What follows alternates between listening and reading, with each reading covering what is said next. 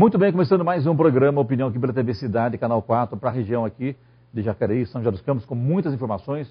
Antes de começar a falar aqui da, das pautas de hoje, quero aqui agradecer a todo mundo aí que tem nos cercado nas ruas, nas feiras livres, e para falar que está acompanhando aí, para falar que estão acompanhando o nosso programa. Isso é muito bom, né? Então, muito obrigado pelo carinho aí. O programa é feito para você, pode a sugestão para cá, fique à vontade, a casa é sua. Então, é na Feira Livre, é em São José dos Campos, é Jacareí, nas reuniões da, da, das empresas, das entidades de classe, a todo mundo curtindo opinião. E não é diferente do meu colega Veloso também, né, Veloso? É, tenho recebido bastante é, pessoas que, inclusive, dão até opinião e dão sugestões. Achei bacana isso. Muito não fala o nome, perde, perde a boquinha aqui, viu? Muito bom. Veloso, o que tem? Tem muita coisa hoje, né? A gente fala, é, do Jaque. aproveitar, uh -huh. eu encontrei, é, me encontrei hoje com o Valtinho, que foi presidente do, do PT aqui em Jacareí. Foi vereador aqui também, vereador, foi o Walter primeiro, de Souza. Walter de Souza, foi o primeiro vereador do Partido dos Trabalhadores. E ele disse que a militância está dizendo para ele, você vê que a militância fica ligada, é, já, é, já é praxe isso, é, que numa das últimas vezes que você falou sobre pré-candidatos a deputado, você não citou o nome do Marco Aurélio. Eu sinceramente não me lembro disso, eu acho que e também no. no Já estamos sim, então eu, agora. A preocupação da militância, ah. eu acho que nós estamos já boicotando. De jeito, né, nenhum, de jeito nenhum. Hoje, por exemplo, hoje é quarta-feira, hoje é dia que hoje é 21 de maio, isso, quarta-feira, 21 de maio, está gravando aqui hoje, tá? Hoje eu fiquei sabendo que o nosso vice-prefeito, Doradel Charafedini, é candidato, é pré-candidato, melhor dizendo, atenção, pré-candidato a deputado federal pelo PMDB. Eu não sabia. Então, as coisas vão acontecer no dia a dia. Você não, não tem nada definido, não aconteceu nenhuma convenção ainda, começa a partir de junho. Então, você lembrar de todos os pré-candidatos é, é, realmente complicado. Agora, isso em hipótese Já alguma. Você está falando em pré-candidato? E vou até falar uma coisa: a gente aqui, meu, eu sou completamente parcial. Para mim, Mar, desculpa a expressão, é, o Marco Aurélio, o doutor Adel, é, Patrícia Giuliani, é, quem mais tem aqui em Jacareí? É, o Danilo, é, Danilo, Danilo Pauli, enfim, é, Ana Abreu, todo mundo é amigo da gente é, o que mais aqui hoje é pré-candidato. Isso é até ruim para o município, porque, conclusão, ninguém acaba sendo eleito. É muito candidato para pouco voto. Vai fora Mas aqueles caça-votos. É fora aqueles caça-votos que vêm aí para garimpar alguma coisa. É ruim para a cidade, penso eu, né? Vocês estão percebendo, né? A culpa é de vocês. Depois que vocês pediram um autógrafo para eles da rua, ele não me deixa falar mais. é brincadeira. Oh, mas isso é uma estratégia. Também pode ser uma estratégia. Porque, veja, a, a gente sabe que, a, que o Marco Aurélio é, é pré-candidato também à reeleição. Estamos falando, viu, militância? É, e isso, e o PT tem a sua, tem o seu número de eleitores, tem a, o seu reduto garantido. Então, quanto mais divide o, os, os demais candidatos, maior chance do partido levar essa, essa, do Marco Aurélio ser, ser reeleito. E o Marco Aurélio tem um trabalho grande, ele já, tá, já é reeleição e também já tem um reduto muito grande. Ele atua eu discordo toda... de você, eu acho que eleição se ganha quando conta voto. Eles gostam de achar que vai ser reeleito, que é o achismo. Falando em possibilidade. Mas, mas, todo mundo tem. Eu acho que todos os pré-candidatos estão na disputa para ganhar a eleição. Eu, eu não quero acreditar que tenha pré-candidato que tem aí o trabalho que tem, a dor de cabeça que tem para perder a eleição. Eu jamais entraria numa disputa para candidato a qualquer coisa, o pré-candidato, a perder. Então, acho que essa uh, existe, na verdade, a preocupação de que ninguém quer perder o poder. Ninguém quer, quer perder o poder. E, e, e quem está fora quer ganhar o poder. Então, a briga, o jogo é muito grande. Eu vejo política como eu vejo futebol. O povo são os jogadores e os políticos são os cartolas. Essa é a minha opinião sobre política. O povo é o jogador e os políticos são os cartolas. Então, o povo é que decide. E cá entre nós, o povo, pelo que se veja, me dá a impressão que este ano, Veloso, em outubro, nós teremos uma eleição atípica para a presidência, para governador do estado, para deputados estaduais, federais e também para senador. Até agora não apareceu nenhum candidato a pré-senador. Você sabe de alguém? Eu não vi nada. Até o próprio José Serra, que foi é, comentado que deveria ser o vice, é, vice o pré-candidato a vice-presidente na chapa de, do Aécio, já disse que não quer. Ele quer sair ou a, a, já é o pré-candidato a deputado federal ou a senador. Então, ainda as coisas estão muito enroladas ainda. Agora, depois que, come, que começarem as convenções, a coisa muda.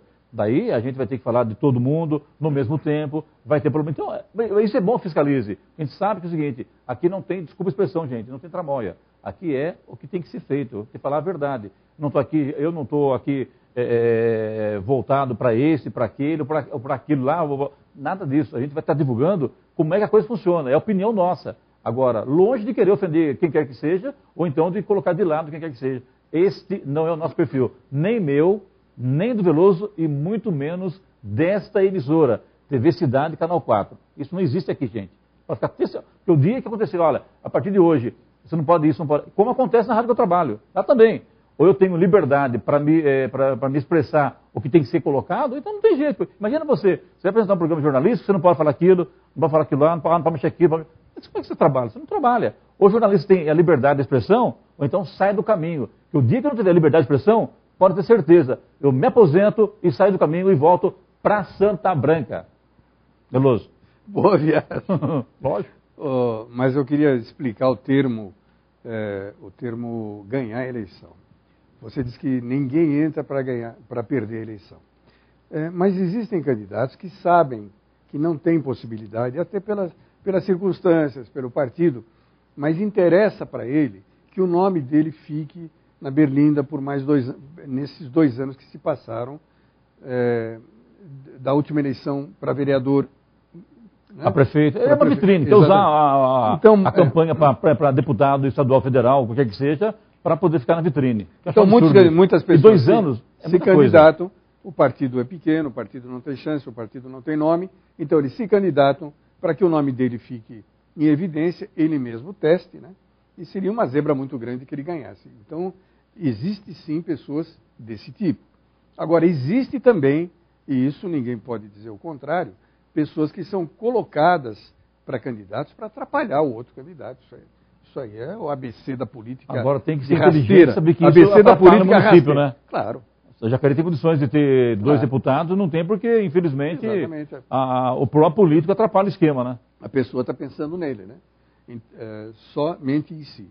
Então, você está falando em pré-candidatos, que tem também tem o Fernando da Ótica, o Fernando Ramos, né? Não Fernando, sabia do Fernando, fiquei sabendo agora, você me falou. Exatamente. Que é candidato, pré-candidato Partido Social Cristão, candidato ah, a deputado estadual. Estadual também, né? Pelo Partido Social Então, eu acho que Jacareí vai ter, um, vai ter um, muita gente se candidatando a, deputado. Isso vai atrapalhar a eleição, gente, para o município. Isso vai acontecer também, vocês podem acompanhar, já que nós estamos falando na, no, nos bastidores da política, vai acontecer também para a candidatura a prefeito. Vai ter candidato que está ali colocado para atrapalhar o outro candidato que possivelmente poderia ganhar eleição. Mas isso, isso até... já foi feito, mas, novidade. Veloso, não estou falando novidade mas, falar, mas por que isso? Porque, na verdade, o, o, o, atual prefeito Hamilton Ribeiro Mota não poderá se candidatar. Ele não, não, não pode mais se candidatar à reeleição. Então vai ser uma briga. E você sabe que tem três nomes possíveis no PT, né? Três nomes. Quem Dentro são? do PT também. Quem são? Pode o Hernani é um deles. O Hernani é um deles. O, o secretário da administração, André, não me lembro. André Donizete. André Donizete é um dos pré-candidatos.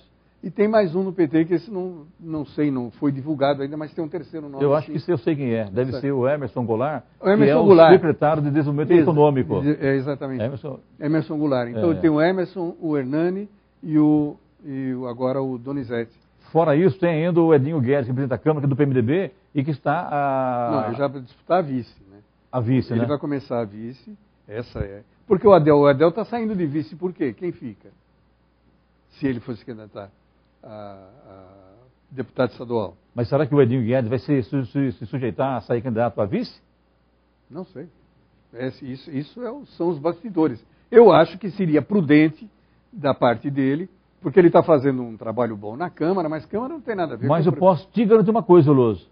É assunto aqui há dois anos, vamos falar agora do que tem aqui na cidade hoje. Há dois anos, Sim. falta muito há ainda. Há dois anos, mas estão sendo preparados agora. Sim. Então, eh, veja bem, Luiz Erundina vai estar aqui em Jacareí. Alguma vez você viu Luiz Erundina em Jacareí?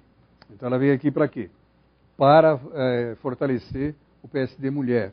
Eu acho que ela esteve aqui. Quando estava no PT, ele esteve aqui já. Esteve. Ele esteve sim, não tenho certeza. Ela, tem um cara também que teve aqui também, José Genuíno, andando na Praça Conde Frantin. Hoje está amarrado, está fechado, né? Mas ele andou também aqui pedindo voto, entendeu? Então, tem muita gente que andou, que andou, andou por aqui. Hoje não pode.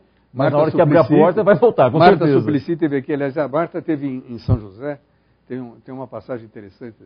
a, a Marta esteve em São José e não tinha Jacareí no, no percurso, no, no, roteiro de viagem. Aí o, o, PT de Jacareí foi buscar a Marta. Não, vai ter que.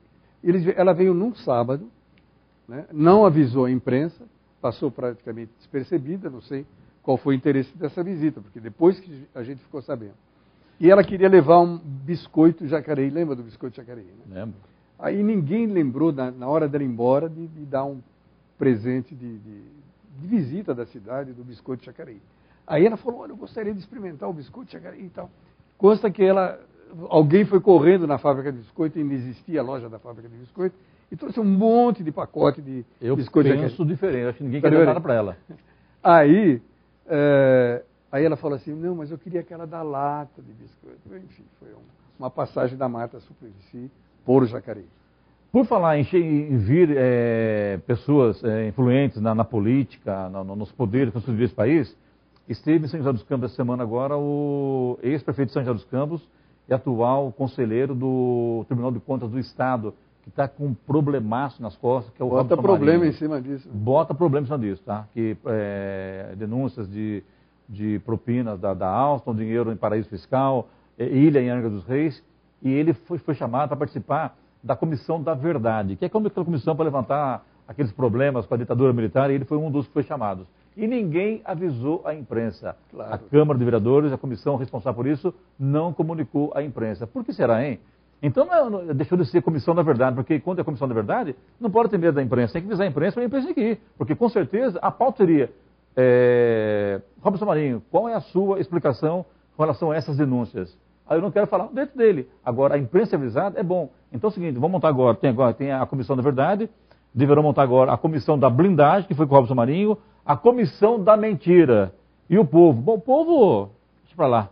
Mas que coisa absurda, né? Mas a comissão... Pegou mal para a Câmara de Vereadores saindo dos Campos. Hein? A Comissão da Verdade pegou mal para, para os vereadores, para a Câmara de Vereadores, essa atitude de estar lá um ex-prefeito, uma pessoa que é do Tribunal de Contas do Estado, que tem uma responsabilidade, responsabilidade muito grande, vai para a Comissão da Verdade e a imprensa não é comunicada, porque realmente ele está com denúncias gravíssimas para poder, na, na justiça, responder na justiça e ninguém comunicou à imprensa. Exatamente, mas é a comissão da verdade mesmo. Né? A verdade, infelizmente, é essa. Isso é mentira. Essa é a verdade. É papagaiada. A é. verdade é essa. Quando o culpado está aí, o pessoal blinda, não deixa falar e acabou. cai fora. Realmente. Mais um detalhe: hoje também foi aprovado na sessão de Câmara de Vereadores a mudança do nome da Prefeitura de Jacareí. O prédio chama Prédio Prefeitura Municipal de Jacareí, é, Marechal Humberto da Alencar Castelo Branco, é isso, né? E hoje foi aprovado na Câmara de Vereadores a mudança desse nome, que passa agora, é um projeto prefeito Hamilton Ribeiro Mota, que não quer nenhum vínculo mais com ditadura militar, para ele isso é, é ponto pacífico, ele vai mudar tudo, e agora vai, vai, vai se chamar é, Passo Municipal da Cidadania. Uma, uma retificação chama, o Passo Municipal se chama 30 de março, 31 de março, não é a data da Revolução, não é não é Castelo Branco, não, que eu saiba é isso. Eu acho que é presidente Humberto Alencar Castelo Branco, parece que é o nome do passo, por isso a mudança do nome. Tá? Então, não, 31 de março é a data que lembra o golpe militar, então também está tá dentro da ideia. Mas o nome mesmo me parece que é, é Palácio 31 de março. É, né? É... E na verdade é 1 de abril, né? Mas não quiseram. Eu disse mentira, e que não foi mentira. Ah, e parece que a, a, ideia do prefeito é, é realmente tudo aquilo que lembra o militarismo, ele quer trocar. Então, o nome de ruas, avenidas, os logradouros públicos, né? então ele quer mudar isso, que ele não quer nenhum vínculo mais com a, a ditadura militar. Eu tenho as controvérsias. Hoje também a gente vive aí num, num, processo muito ruim. Nós não temos ditadura, mas as ações muitas vezes são semelhantes à ditadura. Essa é uma opinião muito particular minha, tá? Respeito muito o prefeito Hamilton, ele é o prefeito de cidade, é, é, o projeto é dele, foi aprovado. Cinco vereadores votaram contra, isso era natural sete aprovaram, os sete do, do que dão Isso não é uma ditadura? Hein? Isso não é uma ditadura, os sete aprovarem? Não diria isso, acho que... que estão a Câmara, infelizmente, está totalmente atrelada, né? Não, que esteja atrelada, mas não, eles não foram obrigados a votar a favor, votaram porque quiseram, né? Então, é, assumiram uma, uma, uma postura de, de, votar todos os projetos a favor, acho que isso... Mas tá? eu, acho que eu sou é contra o seguinte, você... não, não fala em termos de Jacareí, não, fala em termos de Brasil. Hoje a gente vive praticamente uma ditadura, né? Então, ainda não foi completada porque estão tentando colocar na imprensa a lei da mordaça, mas isso não vai acontecer nunca, porque aí a coisa vai pegar de verdade. Então a gente ainda acredita que alguma coisa no Brasil, as coisas possam caminhar bem. Mas hoje você tem assalto na rua armada, você tem é, nego roubando à vontade, depredação em São Paulo, esses manifestos em São Paulo que realmente estão prejudicando, ônibus sendo queimados. Quantos ônibus não foram queimados na semana passada, essa semana em São Paulo? Gente, o prejuízo que essas empresas estão tendo, o prejuízo que o cidadão está tendo, isso não, não fere o prefeito de São Paulo, não fere o governador do estado, não fere o presidente, fere quem? Fere o cidadão que depende do uso do ônibus. Lamentável isso. Você está falando em assalto, segurança. É, lembra que nós falamos do Major Paulo Henrique na, na semana passada? Um, aconteceu um fato interessante da, da, polícia envolvendo a polícia militar em Jacareí, claro. Uma ocorrência, que, né? É, uma, uma, uma dessas coisas, uma das piadas prontas que infelizmente no Brasil acontece. Uma, uma família eh, que mora aqui na cidade de Jardim, o pai saindo de casa, ia levar a filha na escola, só que a filha estava fora do carro, chega um bandido lá e rouba a mochila da, da menina e sai correndo. Aí o pai levanta, sai do carro e vai atrás do, do, do cidadão e prende o cara. Prende, segura e tal, devolve a mochila, recupera a mochila, entrega é, para a menina e chama a polícia.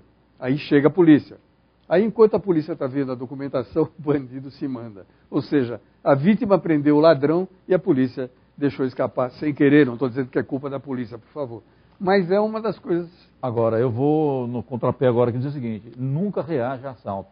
Esse cidadão que fez isso, recuperou, teve sorte. Porque geralmente quem perde é o cidadão. O bandido está armado, está muito bem armado, atira, não interessa em quem vai acertar. A polícia muitas vezes vai no confronto com o bandido, ela procura saber quem está no entorno para não, não ferir, ela tem esse cuidado, ela é preparada para isso. O cidadão não. Agora, parece, ah, não, porque o cidadão, o bandido pulou no Rio Paraíba. Também não pulou, depois prenderam eles que escondeu atrás de uma árvore. Então foi um negócio meio é pitoresco aqui na cidade. Não é louco de perigo. Eu nem diria que isso é culpa da polícia, né? porque eu acho é o seguinte. Não, não é culpa, eu estou apenas citando o fato que foi interessante. Porque a polícia, quando ela tem de agir, ela precisa agir, pode ter certeza que ela vai agir de verdade. Não, ela, a polícia não vai para uma ocorrência para fazer de conta, viu? Eu já vi polícia, ok, ela tem que estudar a inteligência dela ali, é estudar o entorno da coisa. Agora, se o bicho pega, pode ter certeza, a polícia não vai. É, é, não.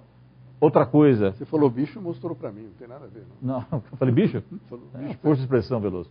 É, longe de. É, a, a, polícia, na verdade, ela só vai é, revidar se o cidadão der um tiro nela. Ela vai, vai fazer Caso contrário, não, ela vai dominar o, o bandido, vai algemá-lo, vai pôr na viatura e leva para a autoridade policial, que é o delegado de polícia. A polícia, senhor, ela é a autoridade policial na rua. Agora tem a obrigação de pegar o cidadão, dominá-lo, pôr na viatura e entrega para o delegado de polícia na Polícia Civil.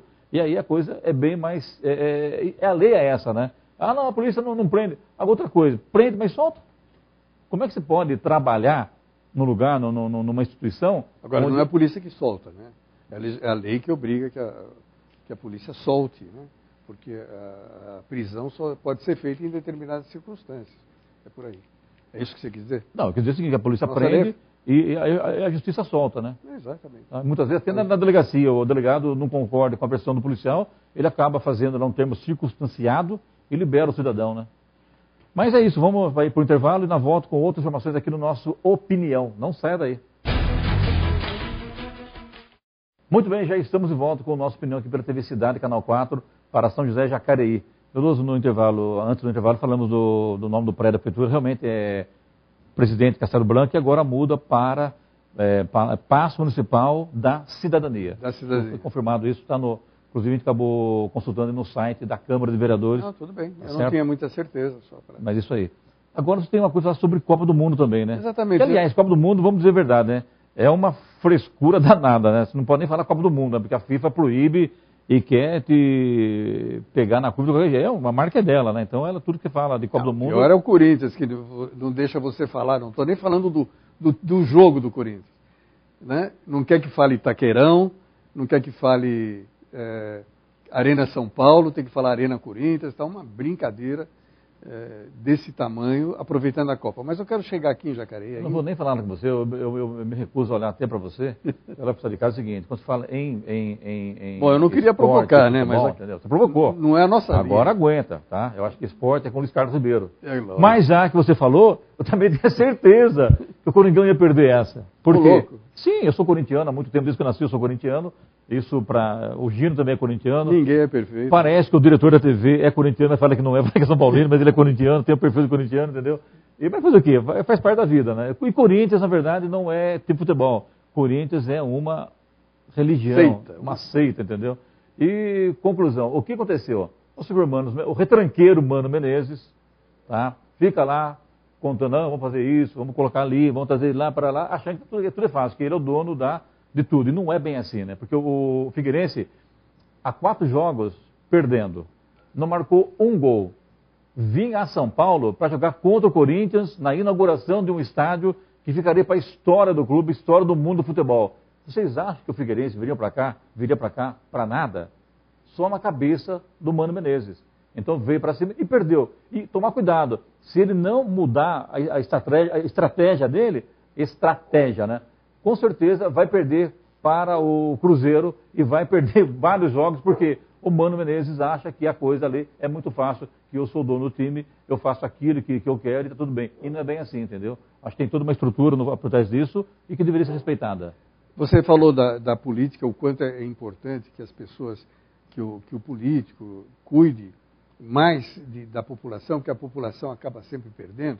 Isso no futebol acontece também. Você sabe por que, que boa parte do estádio tomou aquela chuvarada? Boa parte dos que foram lá para prestigiar o Corinthians tomou aquela chuva?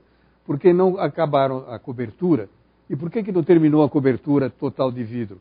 Porque um vidro que eles tinham aqui no Brasil, se colocassem na, na cobertura, com o sol ele ficaria verde. E você imagine o estádio do Corinthians com verde em cima, isso ia virar uma piada internacional.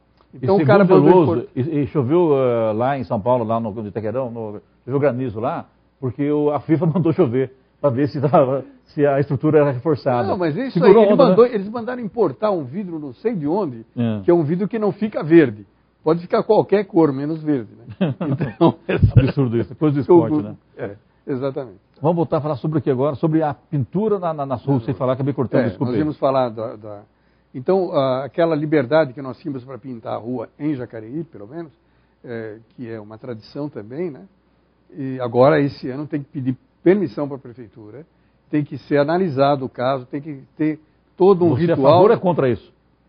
Não, eu, eu sou a favor, sim, é, contra abusos. Porque também pintar a rua, o cara não pode chegar aí pintando, atrapalhando o trânsito e tudo mais. Então, eu acho que deve sim ser regulame- regulamentado, Normatizar, né? normatizado, e quem não cumprir, quem não avisar a prefeitura, quem não pegar uma licença para fazer, é, ele é, é, pode ser multado em até 250 reais. Agora, deveriam fazer isso também, essa multa, é, deveria ser dinamizada, porque lei já existe para isso, para esse pessoal que deixa terreno baldio, não limpa o terreno, deixa o terreno valor- aí para valorização, não cuida do terreno e a vizinhança toda apavorada com a- essa epidemia de, de dengue, praticamente, que nós vamos, estamos tendo aqui no Vale do Paraíba, não em Jacareí, lógico, mas Taubaté já é epidemia, Mas tem São, Sebastião, também, né? São Sebastião é epidemia, Sim. então, é, nós não estamos livres de acontecer alguma coisa nesse sentido. Então, também nós deveríamos cuidar dessa parte. E aqui não é demagogia de dizer, não, mas não tem verba para isso. Tem lei para isso, tem, tem tudo para se fazer isso. Então, obrigar o cara, não fez a limpeza, não limpou, não aceitou a calçada, notifica e muda. É difícil, porque você Mas não para isso, Veloso, tem que fazer a lição de casa. Informações dão conta de que há escorpiões aí no Parque Cidade, na região do Parque Cidade, nos cemitérios que estão abandonados, mato crescendo. Então, para que você possa cobrar do seu vizinho, faça a lição da sua casa. Mas se fizer a sua lição, você pode cobrar o outro. Enquanto não estiver sendo feito isso, deveria ser um pouco mais, ó, vamos lá, vamos analisar, porque tem escorpiões, disseram, a prefeitura informou que já foi tomada providência e já foi exterminado os escorpiões lá do Parque Cidade. Agora, tem comentários que no cemitério do Parque Santo Antônio e também do Avari já apareceram escorpiões. Isso é muito grave. Sim. É, Agora, é o tal negócio. O, o, o dirigente, o político, o vereador, o prefeito, eles, têm que saber que a ação deles pode, movimen- eh, pode prejudicar ou ajudar vidas humanas também. Se o prefeito não é bom, se o prefeito não cuida da, da área da saúde, é gente se prejudicando na saúde. Então, a responsabilidade é muito grande para a gente ficar com preocupações dessa do tipo, vamos mudar o nome do, do prédio, vamos fazer não sei o quê. Pô, vamos cuidar da, daquilo que tem que ser cuidado mesmo, do básico, do básico que a, que a população espera. Aliás, é isso que a população espera do seu representante. A gente aqui, eu, eu pessoalmente, por diversas vezes, critiquei muito o prefeito Hamilton. Mas vamos falar uma coisa, né? Ele tem muito trabalho, né? Ele vai à rua e faz, que a gente já viu em governos passados, lá atrás, Veloso, lá atrás, que onde a cidade não tinha mudada ainda, a rua esburacada, paralelepípedo, mato crescendo, era com menos gente, mas era um caos também, né? E essa mudança que eu vi em Jacareí, vamos falar a verdade, deu uma melhorada. Tem muita coisa para ser feita, a gente precisa criticar, puxar a orelha, informar, e queiram eles, não queiram eles, tem que falar sempre, entendeu? Agora, vamos dizer o seguinte, tem vontade de acertar, trabalham. É claro, é muita coisa para fazer. Eu, dias eu fui lá no, no Parque dos Príncipes e fiquei bobo de ver como é que o Parque dos Príncipes se desenvolveu. Como é que está o comércio lá na, na região lá do, do, do, Parque dos Príncipes, ligando lá com Cidade de Salvador, uma coisa assim que eu não imaginava. E daí eu desci pelo loteamento lá, Jardim do Marquês, um absurdo. Tudinho ainda por, por pavimentação, é, ruas esburacadas, terra. E o prefeito está fazendo aquela obra ali de duplicação na rodovia Nilo Máximo. Se não arrumar ali o Jardim do Marquês, o que vai acontecer? Vai chover e todo aquele entulho, aquela água, aquele barro, aquele barro lá de cima lá, vai vir para Nilo Máximo. Tudo bem, são dali serão construídos dois ou três piscinões que já estão sendo construídos. O que vai acontecer? Esse barro vai descer e todo o serviço vai por água abaixo. Então, é, a gente precisa estar lembrando isso, porque até no sentido de ajudar a administração municipal. Agora, que é complicado, é, né? Eu acho que a última coisa que eu fiz na minha vida é prefeito, viu? Não estava não tava sabendo dessa sua, dessa sua análise desse tipo, porque, afinal de contas, nós temos aqui na, na ali na Nilo Máximo mesmo, para ver toda aquela área do Turi, esse piscinão está prometido já, sei lá, já está por volta de por seis, falar em piscinão, e como não está chovendo, acabou o programa. Obrigado a você mais uma vez, obrigado, de casa, obrigado pela audiência. Pessoal, pode mandar para a gente aqui sugestões aqui pelo Facebook, pelo e-mail aqui da TV Cidade, e fique à vontade, a casa é sua. Muito obrigado e até o próximo programa. Tchau, gente. Bom, tchau, boa noite a todos.